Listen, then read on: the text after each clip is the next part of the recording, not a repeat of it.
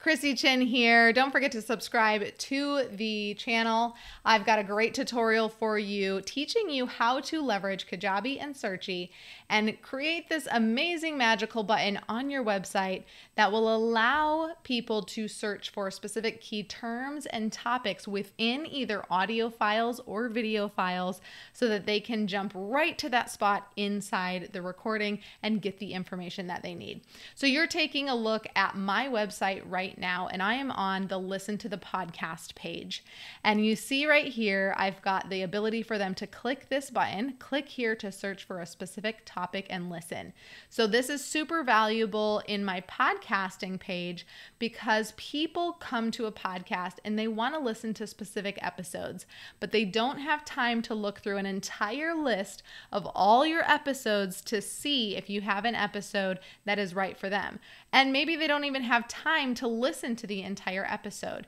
So, providing this feature through leveraging Searchie and embedding it onto your Kajabi site will give them the ability to, when they click on that, a little, they call it a widget, will pop out and they'll be able to put a topic. So if someone comes to my site and they're looking for information on pricing courses, they can type that in and hit enter, and it's going to pull up any episodes where I use the words pricing and courses in those episodes. So it's searching the transcript that it creates and it's showing me where in that episode I talk about it.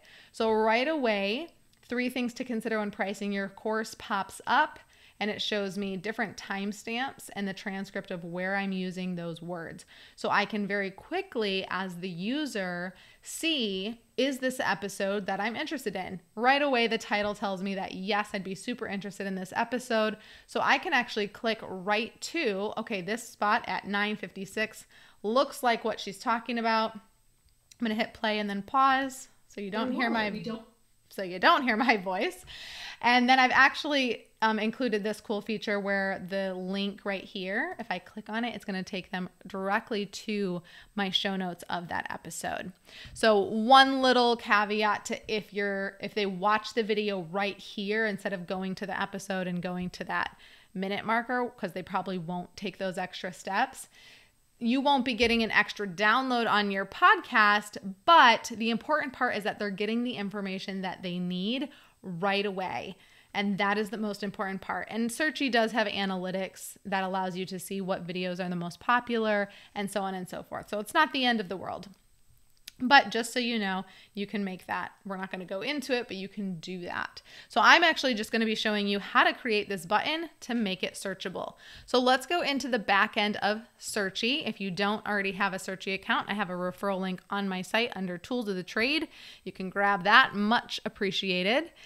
And you can see right here, I recommend creating folders. So let's say you're doing this for your podcast, or you could do this with your courses as well. So create a folder. I've created three folders for my podcast so that they can be separated into three different seasons, but you could do one if you wanted. Once you have the folder with all of the videos that you want them to be able to search through, and so you would just click into the folder and upload add media, you would upload the video. So I had my virtual assistant do this for me. She's amazing. So you can have someone upload all of your podcast episodes if you want. Then we create a widget. So click on widget and you create a widget right here and you could do podcast test. I've done this a few times here. So whatever you type as the title, that's going to be what shows up right here. So if you notice on my website, search for a topic and find relatable podcast episodes, you know, that's what the title is that I'm typing in here and you can edit and modify that there. You can go to appearance and add a logo. So your podcast logo, you can change the color to be your branding colors. Um, so that that's with the appearance a little bit um, on your site. So let's go back to the widgets. I'm going to actually pull up my actual widget so that you can see it, what it looks like. So here's the logo and it's showing you what it will look like. And then I've added my folders. So you're going to want to make sure that you add a folder that you want to include with this widget. And I've added all three of my podcast folders because I want them to be able to search all three episodes, all three seasons. Okay. So once we have the widget title and how we want it, we've got the folder attached, we're going to click the embed button right here and then click pop out.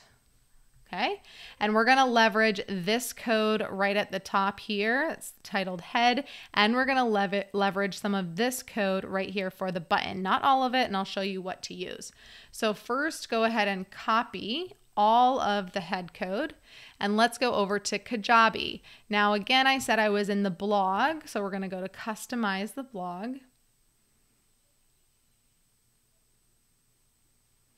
And then I'm in this section where we've added a text box. So I just clicked on here, text popped up.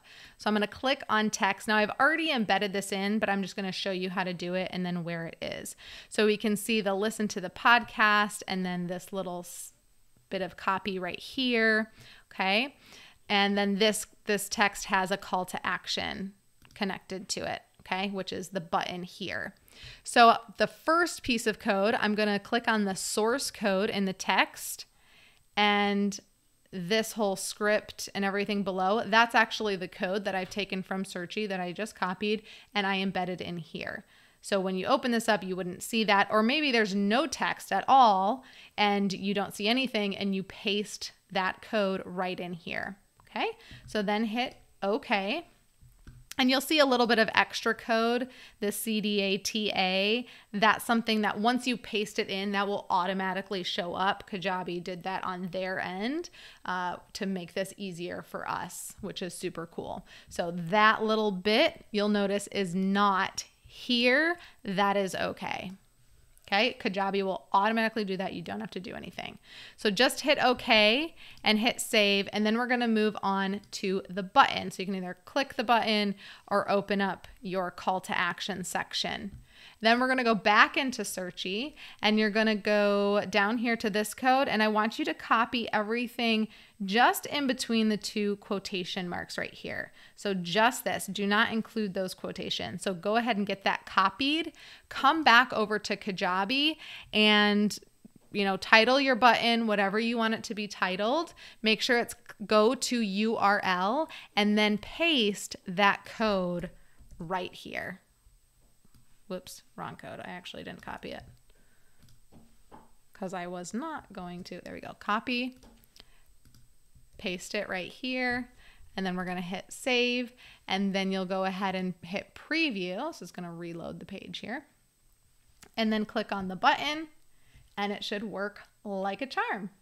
So I hope that was helpful. If it was helpful, go ahead and leave me a comment below. If you have further questions, leave me a comment below. Don't forget to subscribe to the channel, hit that bell so that you can be notified anytime one of these great new tutorials comes out or my podcast episodes every single Wednesday. All right, that's it. We'll see you in the next one.